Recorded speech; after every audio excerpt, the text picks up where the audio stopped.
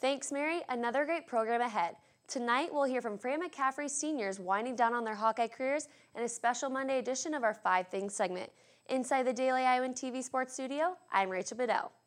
We begin tonight's program on the mat just after the release of the Big Ten Championships preliminary seeds.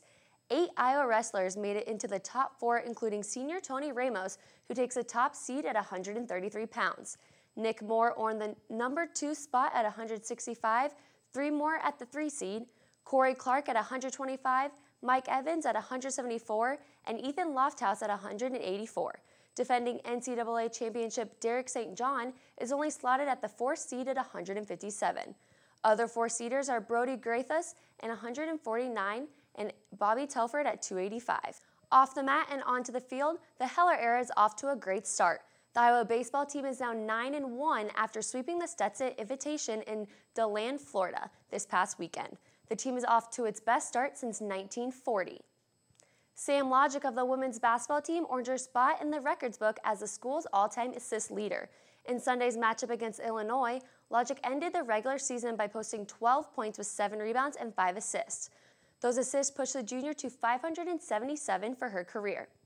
Only in her junior year, Logic is sure to put some distance between the previous record of 576 assists, which was set by Kara Consugra back in 2001, Bluder's first season at the helm. Congratulations, Sam. Still on the court side of things, Fran McCaffery and co will soon be preparing for their final game at home this Saturday night against Illinois. And for three members of McCaffery's squad, it'll be their last time taking the court inside Hawkeye Arena. I caught up with three of the seniors, Devin Marble, Melsahn Basabe, and Zach McCabe, Sunday about their memorable moment while in a Hawkeye uni. I'd say one of the, the best moments probably when we beat Purdue our freshman year. Yeah, that probably was like, you know, obviously I'm a father. yeah, they know that. But before that, that probably was the greatest day of my life before that happened. And I, I, I told somebody it's tied, but they didn't like that. But yeah, I'm gonna agree with Dev. That was just a, a crazy. It was just like a. you can't can't imagine that feeling. And you know, just this year playing all these big games is in you know just the feeling of this whole season that we have a very talented team. All of this stuff has been special. Uh, I'd say Purdue freshman year was a lot of fun, and uh, you know, uh, we had Chris Street night uh, when we played Wisconsin, and that was that was pretty exciting. A lot of energy in the yeah, building and stuff like that, and um, and we came out with a big win, so that was fun. You had your daughter this year, so how has that been? Having your daughter while competing in your senior year? It's been excellent. It's been a blessing. You know, everybody was asking me. Uh, it could be a challenge being a parent, but you know, so far it's just been so fun and enjoyable. And, you know, my daughter kind of is like her daddy, very you know, enjoyable, exciting, and you know she's playful. And Uncle Dev right here plays with her, so you know he knows she's been just a great addition to us.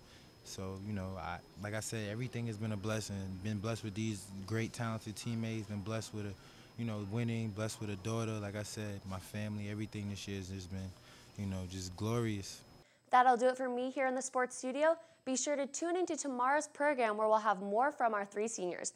But before I go, Taylor Axelson and Jalen Socek are standing by for a Monday edition of Five Things. Taylor and Jalen, take it away. Hey guys, welcome back to Five Things. I'm Taylor Axelson. And I'm Jalen Socek. So you've probably all seen how hungry Aaron White is on the court during a Hawkeye basketball game. But I bet you don't know how hungry he is out of the gym. So far in his career, the junior has had 45 double-doubles and this season is leading the Big Ten in field goal percentage. Right now, he's leading the team in rebounds and could become the fifth player since 1960 to lead the Hawks in rebounding three consecutive seasons. So we heard the Strongsville, Ohio native keeps himself on a strict healthy diet. So we asked him five of his game day eats. Uh, for pregame meal, I like to eat um, I got two things. I either eat pancakes or I like to eat uh, grilled chicken with uh, green beans. Post game, um, if we're at home, usually go out to eat. I like Monica's. That's that's my favorite spot around town. Uh, the salmon's the best there. Um, or if we're on the road, we usually they usually get us pizza, but I don't really eat that, so I eat a banana and a protein shake until I get home. Favorite snack would probably be uh, cereal. I'm a big cereal eater, so uh, right now chocolate Cheerios and Raisin Bran. So. Well, we know what he ate after the game. Probably not pizza. That's okay, more for us. so that's all we have for tonight, but thanks for stopping by. We'll be right here again next week to pass five new things your way. Back to you guys at the desk.